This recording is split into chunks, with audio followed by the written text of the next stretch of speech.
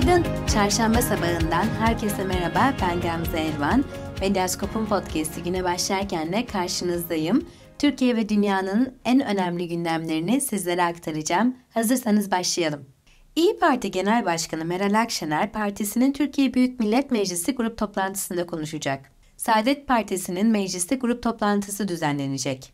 AKP Genel Başkanı ve Cumhurbaşkanı Recep Tayyip Erdoğan, Ankara ilçe belediye başkan adaylarını açıklayacak.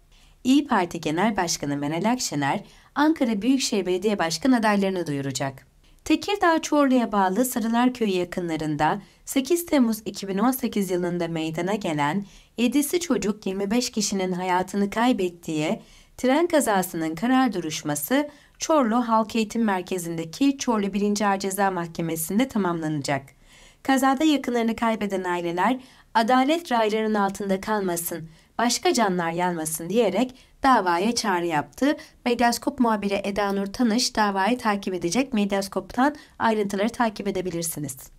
Cumhuriyet Halk Partisi Genel Başkanı Özgür Özel, partisinin grup toplantısında AKP Genel Başkanı ve Cumhurbaşkanı Recep Tayyip Erdoğan'a seslenerek eski İçişleri Bakanı Süleyman Soylu'nun bakanlığı dönemine ilişkin hukuk devletinde kapalı kapılar ardında hesaplaşma olmaz, bakansa hesabı Yüce Divan'a verecek dedi.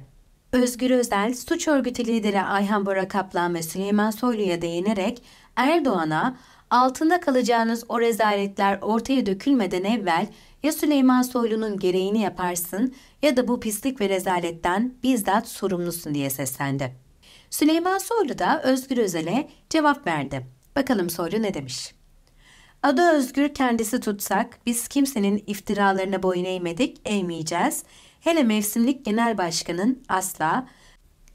1 Nisan'a kadar sabırlı ol, dikkat et de kan kusturduğumuz PKK ve DHKPC'ye destekten benim için arzuladığın yerlerde olma, iftiralarının hesabını hukuk önünde vereceksin. Bakalım bundan sonra ikisi arasında nasıl bir münakaşa yaşanacak hep birlikte izleyeceğiz.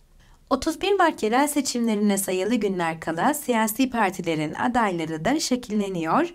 Mehmet Kasım Gülpınar Şanlıurfa Büyükşehir Belediye Başkanlığı'na aday olmak istedi ancak AKP mevcut belediye başkanı Zeynel Abidin Beyazgül'ü yeniden aday gösterdi. Gülpınar da bunun üzerine partisinden istifa etti. Yeniden Refah Partisi de Gülpınar'ı Şanlıurfa Büyükşehir Belediye Başkanlığı'na aday gösterdi. Gülpınar'ın adaylığını partinin lideri Fatih Erbakan duyurdu. Gülpınar istifa etmeden önce hem AKP MKYK üyesiydi hem de AKP Genel Başkanı ve Cumhurbaşkanı Recep Tayyip Erdoğan'ın danışmanıydı. AKP'nin İstanbul Büyükşehir Belediye Başkan adayı Murat Kurum, Bakırköy ve Küçükçekmece'deydi dün. İstanbul'da yarı zamanlı çalışan bir yönetim olduğunu söyledi kurum ve şöyle devam etti. Maalesef mesailerini, enerjilerini tam zamanlı İstanbul'a, İstanbul halkına harcamıyorlar. Bu şehrin sorunlarına vakıf olduklarını düşünmüyorum. Merkezinde İstanbul'un olduğu bir belediyecilik anlayışını yeniden İstanbul'a getireceklerini söyleyen kurum, tüm birikimimizle, tüm enerjimizle, tüm tecrübemizle sadece İstanbul'a odaklanacağız diye konuştu. Diyarbakır Bağlar Belediyesi'ne yönelik düzenlenen rüşvet operasyonuna ilişkin ayrıntılar ortaya çıkıyor. AKP'li Bağlar Belediye Başkanı Hüseyin Beyoğlu, tutuklu başkan yardımcısı Sıddık Ayçıl ve imar müdürü Fırat Kılıç'la ilgili hazırlanan iddianamede çarpıcı detaylar yer aldı. Sanıkların 10 yıla kadar hapislerinin istendiği iddianamede Fırat Kılıç'ın her ne kadar işçi gözükse de belediyenin internet sitesinde imar müdürü olarak görev yaptığı ve toplantılara katıldığı belirtildi. Hazırlanan iddianamede belediye başkanı Hüseyin Beyoğlu dahil 3 şüphelinin 3 hafta boyunca teknik araçlarla izlendiği, ses ve görüntülü olarak kayıt altına alındığı bilgileri de yer aldı. Diyanet İşleri Başkanlığı ilkokul 3 ve 4. sınıf öğrencilerine yönelik Genç Gönüllüler Çocuk Gönüllülerle Buluşuyor projesini başlattı. Proje kapsamında Diyanet ilkokul öğrencilerine camilerde manevi danışmanlar ve din görevlileri eşliğinde değerler eğitimi verecek. Ayrıca lise ve üniversite öğrencileri arasından seçilecek Diyanet Genç Gönüllüleri ilkokul öğrencilerine rehberlik edecek. 96. Akademi Ödülleri'nde yani Oscar'da yarışacak adaylar belli oldu. Kişilere damga vuran Oppenheimer, en iyi film ve en iyi yönetmen dahil 13 dalda aday gösterildi. Oscar ödülleri 10 Mart'ta sahiplerini bulacak. Bütün bu listeyi web sitemizden okuyabilirsiniz.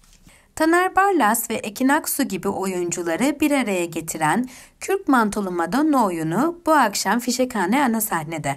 Sabahattin Ali'nin aynı adlı eserinden sahneye uyarlanan oyun 75 dakika ve artı 15 sınırına sahip. Biletler tükenmeden elinizi çabuk tutun.